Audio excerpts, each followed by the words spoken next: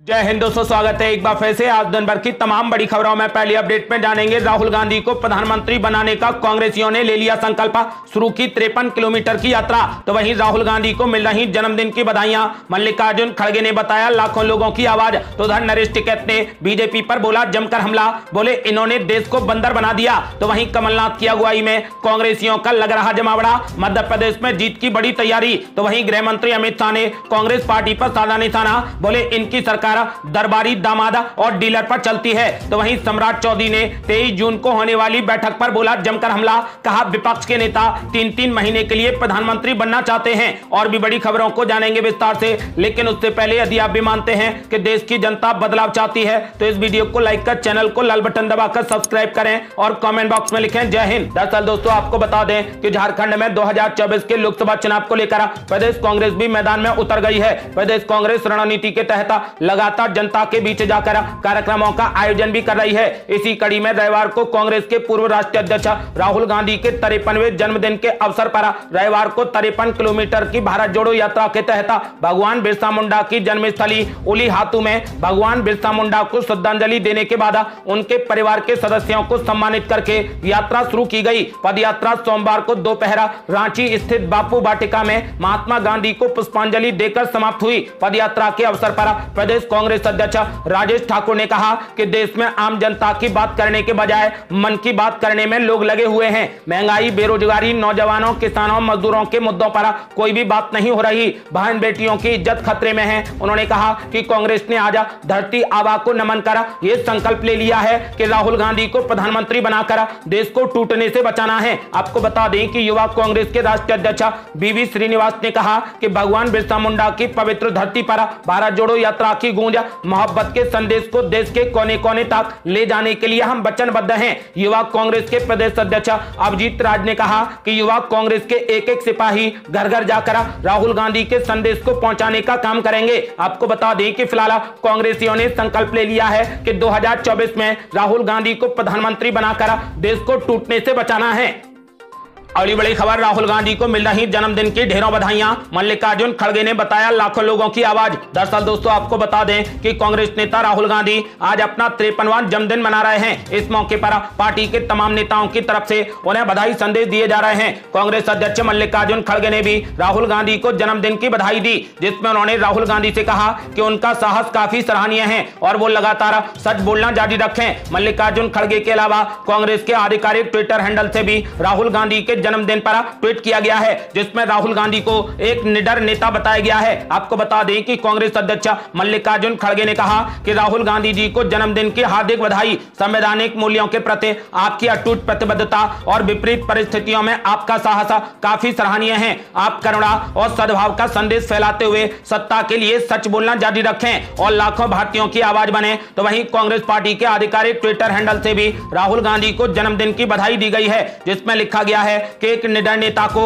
जो भारत को एकजुट रखने की अटूट प्रतिबद्धता रखते हैं, जो प्यार में अटूट विश्वास रखते हैं, ऐसा प्यार जो माफ़ करने, भरोसा करने, उम्मीद करने और तमाम मतभेदों को गले लगाने के लिए तैयार हैं। हमारी अपनी मोहब्बत की दुकान को जन्मदिन मुबारक हो। कांग्रेस अध्यक्ष के अलावा पार्टी के तमाम नेताओं ने भी अपने पूर्व राष्ट्रीय अध्यक्ष राहुल गांधी को जन्मदिन की बधाइयाँ दी हैं। पार्टी के नेता और कार्यकर्ता राहुल गांधी की भारत जोड़ो यात्रा की क्लिप शेयर कर रहे हैं और उन्हें जनता की बेबाक आवाज़ बता रहे हैं।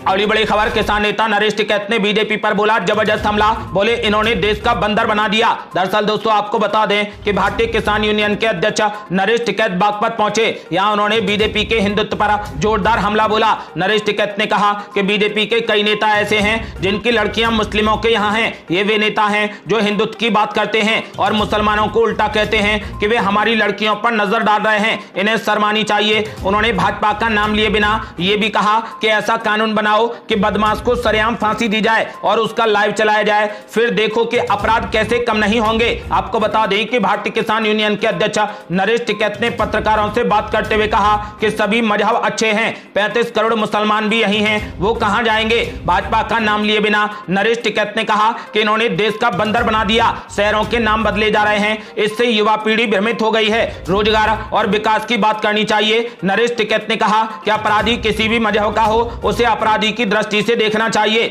बदमाश आए दिन मार रहे हैं। ऐसा कानून बनना चाहिए, जिसमें सरेआम फांसी दी जाए। फिर देखो कि अपराध क्यों कम नहीं होंगे। नरेश टिकैत ने कहा कि बदमाशों को सरेआम फांसी पर लटका दिया जाए और उसका लाइव चले कि उस बदमाश को उस समय फांसी दी जाएगी। वो सब टीवी पर चले। देखिए, फिर अपराध क्यों नहीं कम होंगे। लेकिन ये लोग धोखे से मार रहे हैं। किसी को अपनी ताकत का गलत इस्तेमाल नहीं करना चाहिए। उन्होंने कहा कि सजा देने के कायदे कानून बने हुए हैं। लेकिन इन्होंने सभी को ताक पर रख दिया है और अदालतों में वकीलों के भेष में गोली चल रही है। उन्होंने कहा कि इन्होंने भगवान का काम अब अपने हाथों में ले लिया है। अगली बड़ी खबर मध्य प्रदेश में बड़ी जीत की तैयारी कर रही कांग्रेस पार्टी। कमलनाथ की अगुवाई में कांग्रेसियों का लग रहा जमावड़ा। दरअसल दोस्तों, आपको बता दें कि जैसे जैसे विधानसभा चुनाव नज़दीक आ रहे हैं वैसे वैसे कांग्रेस मध्य प्रदेश में अपनी तैयारियाँ तेज कर रही है। इसी कड़ी में मध्य प्रदेश के पूर्व मुख्यमंत्री और पीसीसी चीफ कमलनाथ उन्नीस जून को उज्जैन में आ रहे हैं और सभा को संबोधित करेंगे। साथ ही उज्जैन संभाग में कांग्रेस की चुनावी रणनीति का खुलासा भी करेंगे। इस दौरान कमलनाथ पत्रकारों से भी रूबरू होंगे। मध्य प्रदेश में विधानसभा चुनाव की अब उल्टी गिनती शुरू हो गई है। ऐसी स्थिति में भारतीय जनता पार्टी के साथ साथ कांग्रेस भी अभी से पूरी ताकत लगा रही है और कमलनाथ धार्मिक नगरी उज्जैन में आम सभा को संबोधित करने के लिए आ रहे हैं। कमलनाथ पहले ही ऐलान कर चुके हैं। इस बार मध्य प्रदेश की जनता भाजपा को जवाब देगी। उन्होंने ऐलान कर दिया है कि इस बार कांग्रेस पार्टी मध्य प्रदेश में पूर्ण बहुमत की सरकार बनाएगी। अगली बड़ी खबर, नीतीश कुमार के मिशन 2024 की राह में आ रहे रोड़े। मोदी के खिलाफ गठबंधन में हो रही समस्या। दरअसल दोस्तों, आपको बता दें कि तेईस जून को पटना में विपक्षी दलों की बड़ी बैठक होने जा रही है, जिसमें मोदी विरोधी खेमा जुटने जा रहा है। बैठक में 2024 के चुनाव में बीजेपी को सत्ता से हटाने के लिए सिंगल पॉइंट एजेंडा सेट करने का प्रयास होगा, लेकिन विपक्षी दलों का आपसी टकराव ये बता रहा है कि ये राह आसान नहीं है। बिहार के मुख्यमंत्री नीतीश कुमार ने तेईस जून को विपक्षी दलों की बड़ी बैठक बुलाई है। ये बैठक इसलिए बुलाई है ताकि पीएम मोदी के खिलाफ एक बड़ा मोर्चा खोला जाए। इस बैठक में नीतीश कुमार की कोशिश करीब पचास साल पहले जेपी के नेतृत्व में हुई संपूर्ण क्रांति का पार्ट टू शुरू करने की है। लेकिन सवाल यह है कि क्या उनकी ये मुराद पूरी हो पाएगी और पार्टियों का आपसी विवाद इसमें रोड़ा नहीं अटकाएगा? आप टीएमसी और कांग्रेस को ही देख लीजिए। पश्चिम बंगाल में दोनों एक दूसरे पर हमला बोल रहे हैं और पंचायत चुनाव के दौरान एक दूसरे पर हिंसा का भी आरोप लगा रहे हैं। अब सवाल यह भी है कि राहुल गांधी और मल्लिकार्जुन खड़गे पश्चिम बंगाल की मुख्यमंत्री ममता बनर्जी के साथ बैठेंगे तो दोनों के लिए इसे भुला पाना आसान होगा या नहीं? इसके साथ ही बैठक में शामिल होने आ रहे दिल्ली के मुख्यमंत्री अरविंद केजरीवाल से भी कांग्रेस पार्टी की नहीं बन रही। आम आदमी पार्टी नेता ने दिल्ली के ट्रांसफ़र पोस्टिंग को लेकर केंद्र सरकार के अध्यादेश के मसले पर कांग्रेस पार्टी से समर्थन मांगा था, लेकिन कांग्रेस इस पर चुप्पी साध गई। इसके साथ ही केजरीवाल अब कांग्रेस पर एक भी हमला करने का मौका नहीं छोड़ रहे। राजस्थान के मुख्यमंत्री अशोक गहलोत और बीजेपी की वसुंधरा राजे के बीच भाई बहन के रिश्ते वाला उनका बयान, इसका ताज़ा उदाहरण है। आपको बता दें कि अब ये गठबंधन सफल हो पाएगा या नहीं, इसको लेकर सभी की निगाहें तेईस जून की होने वाली बैठक पर टिकी हैं। आपका क्या मानना है? क्या नीतीश कुमार बीजेपी के खिलाफ बड़ा मोर्चा खोलने में सफल हो पाएँगे या नहीं? अपनी राय हमें वीडियो लाइक कर कमेंट बॉक्स में ज़रूर दें। अगली बड़ी खबर है, अरविंद केजरीवाल ने राजस्थान में कांग्रेस पार्टी पर बोला ज़बरदस्त हमला। बोले, वसुंधरा राजे को अशोक गहलोत ने बहन बना लिया, इसलिए कार्रवाई नहीं की गई। दरअसल दोस्तों, आपको बता दें कि राजस्थान में विधानसभा चुनावों में अब कुछ ही महीने बाकी हैं। दिल्ली और पंजाब में सरकार बनाने के बाद अब आम आदमी पार्टी ने मिशन राजस्थान के तहत अपना चुनावी अभियान शुरू कर दिया है। रविवार को श्रीगंगानगर में दिल्ली के मुख्यमंत्री अरविंद केजरीवाल ने रैली कर, चुनावी बिगुल बजा दिया। जनसभा को संबोधित करते हुए अरविंद केजरीवाल ने कहा कि देश का हर राज्य दिल्ली और पंजाब जैसी सुविधाएँ चाहता है। हम लोगों को राजनीति करनी नहीं आती है। हम लोगों को पॉलिटिक्स करनी नहीं आती है। हमको गंदगी करना नहीं आती है। हमको गाली गलौच करना नहीं आता है। हमको किसी की रैली खराब करना नहीं आता है। हम तो भारत को दुनिया का नंबर वन देश बनाना चाहते हैं। दिल्ली के मुख्यमंत्री अरविंद केजरीवाल मंच से मुख्यमंत्री अशोक गहलोत पर जमकर बरसे। उन्होंने कहा कि जब वसुंधरा राजे की सरकार थी, तब यही अशोक गहलोत रोज़ाना भ्रष्टाचार के आरोप लगाते थे और कहते थे कि वसुंधरा राजे ने घोटाला कर दिया। फिर जब इनकी सरकार आई तो बेचारा सचिन पायलट रो रो कर मर गया। कह कहकर थक गया कि पूर्व मुख्यमंत्री वसुंधरा राजे पर भ्रष्टाचार को लेकर कार्रवाई करो, वसुंधरा राजे को गिरफ़्तार करो। लेकिन मुख्यमंत्री अशोक गहलोत कहते हैं कि नहीं, मैं उन पर कार्रवाई नहीं करूँगा, क्योंकि वो मेरी बहन लगती है। आपको बता दें कि राजस्थान के श्री गंगानगर में रविवार को अरविंद केजरीवाल ने चुनावी संखनाद कर दिया। इस दौरान उन्होंने मुख्यमंत्री अशोक गहलोत पर जमकर हमला बोला। उन्होंने कहा कि वसुंधरा राजे को अशोक गहलोत ने अपनी बहन बना लिया है। इसीलिए उन पर कोई भी कार्यवाही नहीं की जा रही।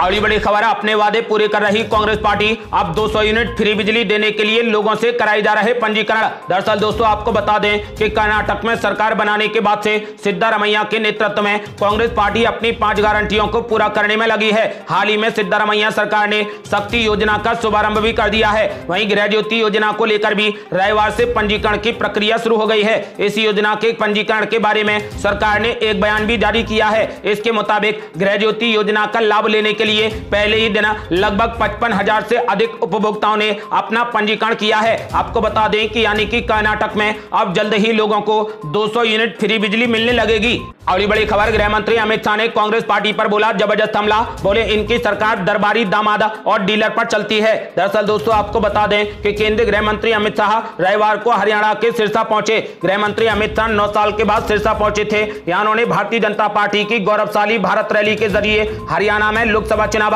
2024 के प्रचार की शुरुआत कर दी। साथ ही गृह मंत्री अमित शाह ने यहाँ लोगों से पीएम नरेंद्र मोदी को एक बार फिर देश का प्रधानमंत्री बनाने और हरियाणा की सभी दस सीटें बीजेपी को देने की मांग की। गृह मंत्री अमित शाह ने यहाँ कांग्रेस पर जमकर हमला बोला। उन्होंने कहा कि कांग्रेस की सरकार थ्री डी पर चलती है। पहले डी का मतलब है दरबारी, दूसरे डी का मतलब है दामाद और तीसरे डी का मतलब है दामाद के दलाल डीलर। गृह मंत्री अमित शाह ने कहा कि पीएम मोदी ने ये तीनों खत्म कर दिए। उन्होंने कहा कि मैं भूपेंद्र सिंह हुड्डा को चैलेंज करता हूँ कि वो अपनी सरकार का हिसाब लेकर आए। सबसे ज़्यादा गेहूँ किसने खरीदा?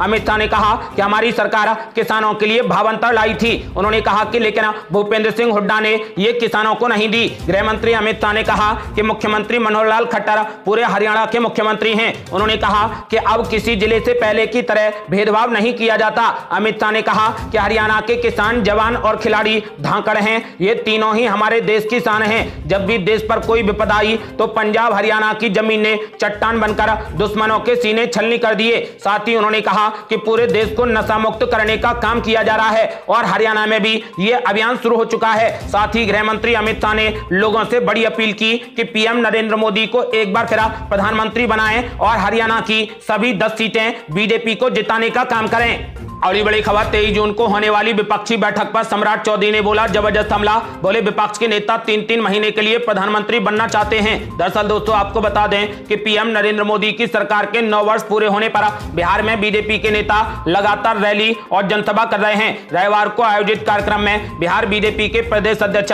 सम्राट चौधरी भी पहुँचे। कार्यक्रम को संबोधित करते हुए सम्राट चौधरी ने तेईस जून को पटना में होने वाली विपक्षी एकता की बैठक पर जमकर हमला बोला। सम्राट चौधरी ने मुख्यमंत्री नीतीश कुमार पर हमला करते हुए कहा कि बिहार में आप पंगु मुख्यमंत्री हैं। उन्होंने कहा कि मुख्यमंत्री तो नीतीश कुमार हैं, लेकिन मंत्रिमंडल विस्तार की बात कांग्रेस कर रही है कि उनकी पार्टी से दो और मंत्री बनाए जाएँगे। विपक्षी दलों की एकता पर चुटकी लेते हुए उन्होंने जनता से कहा कि क्या आप ऐसी सरकार बनाना चाहते हैं जिसमें तीन तीन महीने के लिए प्रधानमंत्री हों? जैसे तीन महीने नीतीश कुमार, तीन महीने अखिलेश यादव और तीन महीने ममता बनर्जी सत्ता चलाएँ। सम्राट चौधरी ने कहा कि इसीलिए मैं आपसे निवेदन करता हूँ कि फिर एक बार ज़बरदस्त बहुमत से मोदी जी को देश की बागडोर दे दीजिए। ये थी अब तक की बेहद बड़ी खबरें। आज के लिए बस इतना ही और रोज़ाना की ताज़ा खबरों को जानने के लिए हमारे चैनल को लाल बटन दबाकर सब्सक्राइब करें और घंटी बटन भी दबा दें। जल्दी मिलते हैं बड़ी अपडेट के साथ। तब तक के लिए जय हिंद, जय भारत।